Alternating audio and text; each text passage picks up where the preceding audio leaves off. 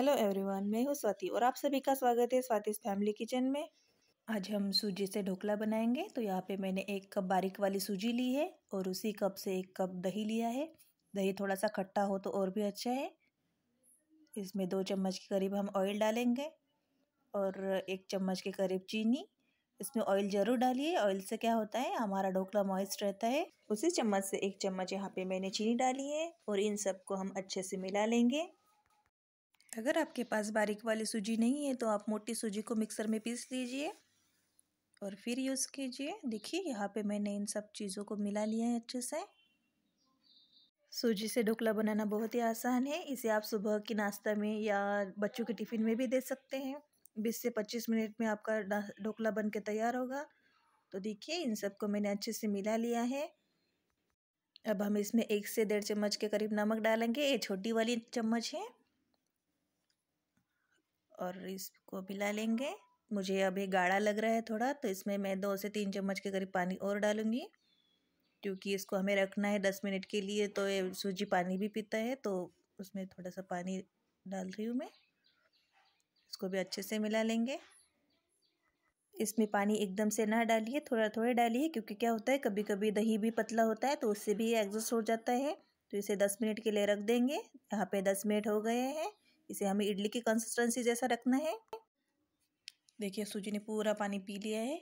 इसमें और मैं दो से तीन चम्मच के करीब पानी डालूँगी। और इसको हमें अच्छे से मिलाना है। इसमें अगर आपको, आप चाहे तो हरी मिर्च और अदरक का पेस्ट भी डाल सकते हैं, एक चम्मच के करीब। नहीं तो ऐसे प्लेन ही बना सकते हैं। देखिए इसकी कंसिस्टेंसी देखिए आप।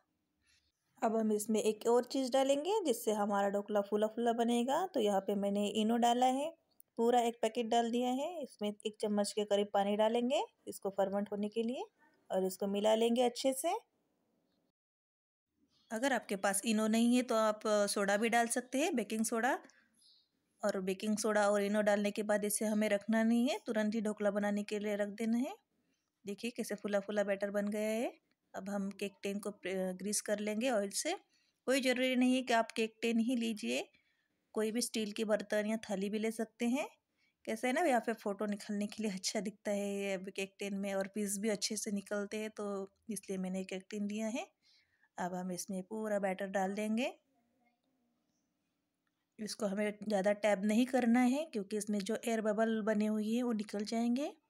आज मैं ये ढोकला आपको कढ़ाई में बना के दिखा रही हूँ तो इसलिए मैंने कढ़ाई में पानी डाला है, उसमें स्टैंड रख दिए है उस पर ढोकले का बैटर हमारा है, और देखिए बीस मिनट के लिए रख दिया था। बीस मिनट हो गए, अब चेक करेंगे, ये भाप से पूरा धुंधला हो रहा है। देखिए, बीस मिनट हो गए, ढोकला यहाँ पे बन के तैयार है। अगर ढोकला बन, बीस मिनट में अगर आपका नहीं बना है तो आप और पाँच मिनट के रख दीजिए, क्योंकि गैस की फ्लेम पर भी और ये भर होता है। तो देखिए, यहाँ पे अब हम तड़का बनाएँगे। तो तड़के के लिए मैंने चार से पाँच चम्मच के करीब ऑयल लिया है। उसमें एक चम्मच राई डाली है और चार से पाँच ऐसे हरी मिर्च। ढोकला भी ठंडा हो गया हमारा। अब हम इसको साइड से ऐसे निकाल लेंगे। फटाफट ढोकला निकल जाता है। कोई दिक्कत नहीं आती। देखिए, कितनी आसानी से ढोकला निकल गया और जाली देखिए आप इस पर कितना जालीदार ढोकला बन गया है हमारा। वाह देखिए, देखने से ही पता लग रहा है कि ढोकला कितना अच्छा बना हुआ है फुला फुला अब हम इसको पीस में कट कर लेंगे। आप अपनी पसंद से इसको कट कर सकते हैं, जितने पीस चाहे उतने। इस ढोकले पर हमें शुगर सिरप नहीं डालना है। हम बेसन के ढोकले पर शुगर सिरप डालते हैं, इस पर नहीं, क्योंकि ज़्यादा गीला गीला हो गया। तो अब हम इसमें तड़का डालेंगे।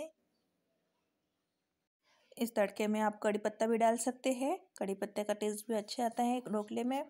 देखिए कितना फूला फूला ढोकला यहाँ पे बन के तैयार है। तो आपको ये ढोकले की रेसिपी कैसी लगी, मुझे कमेंट करके ज़रूर बताइए। और अगर अच्छी लगी हो तो रेसिपी को ज़्यादा से ज़्यादा लाइक और शेयर कीजिए और मेरे चैनल को ज़रूर सब्सक्राइब कीजिए।